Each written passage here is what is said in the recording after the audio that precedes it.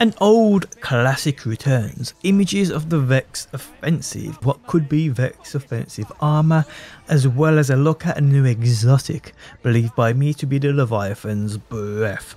How's it going guys, my name's DPJ and I'd like to thank you for stopping by and checking out my video. If you do enjoy it, leaving a like truly helps out and if you are new around here and enjoy daily Destiny 2 videos, be sure to subscribe. Okay, so we have covered most of what PAX has brought in terms of new info regarding Destiny 2 Shadowkeep and what's coming.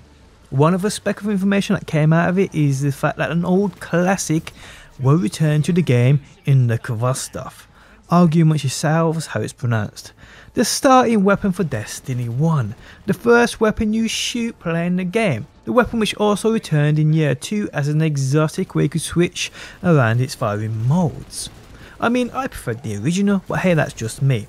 Well, it's returning, which, if you think about it, it kind of makes sense with the fact of New Light, the free to play Destiny 2 campaign starting fresh for newcomers to the game.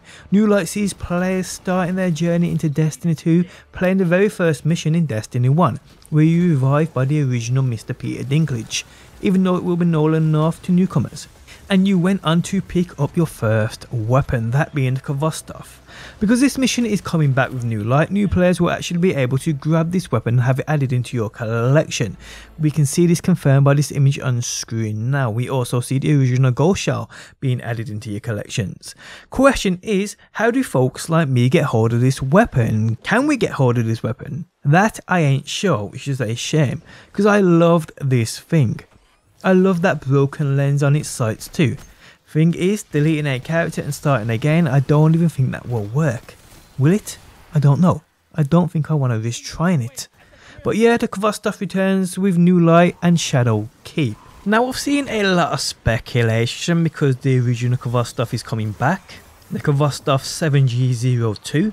Many people are speculating on the fact that the exotic version may return also. I've seen numerous videos on this. I am not sure about it people. Maybe in the future sometime it may return. Maybe Bungie are hiding it away behind some secret hidden exotic quest within Shadow Keep. But the exotic version, the Khvostov 7G0X, will this return to Destiny 2 as a new exotic? I'm not sure on people. Let me know your opinion on this down below in the comments section. All I know is I want the original. If it's confirmed that you can delete a character, go back and get it. Goodbye Warlock. Nice knowing you. But yeah, let me know what you think about this down below in that comments section.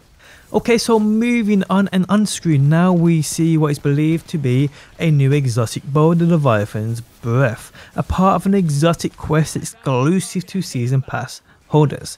Now what we are seeing here I believe is the bow we saw being worked on within the ViDoc some time ago, which offered a weird knockback effect.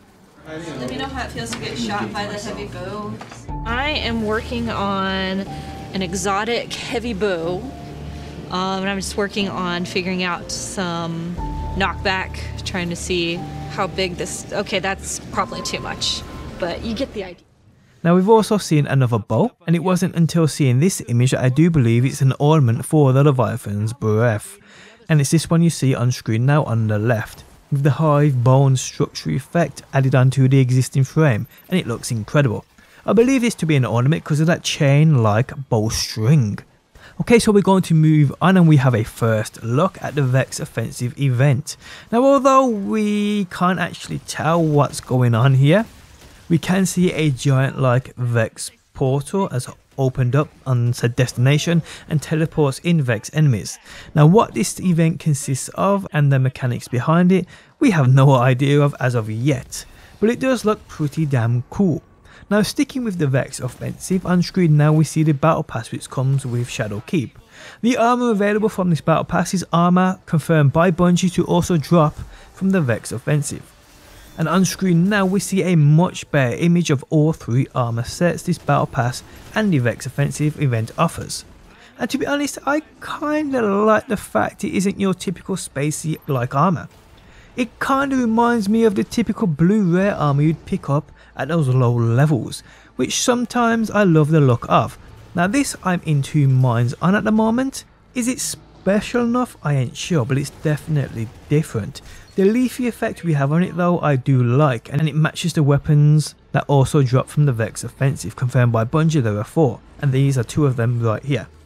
These are basically Mercury Prophecy weapon reskins.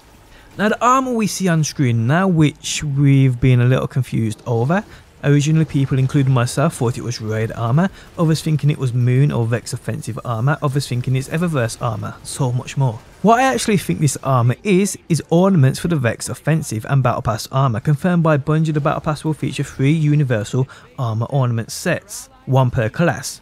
And I believe these fit directly in relation to the Vex offensive gear. As when you compare the two, they are indeed very different, but the belts for each are more or less the exact same, so that's pretty cool. But yeah, people, the Shadow Keep is around the corner and I am super excited for it. Today I just brought you a little recap over the minute information we've had over the past 12 hours. So I hope you enjoyed it people. If you did, leaving a like really does help out. And if you are new around here and enjoy daily Destiny 2 videos, be sure to subscribe. But guys, that is it for another video. Thanks as always for stopping by and hopefully I will see you on that next one.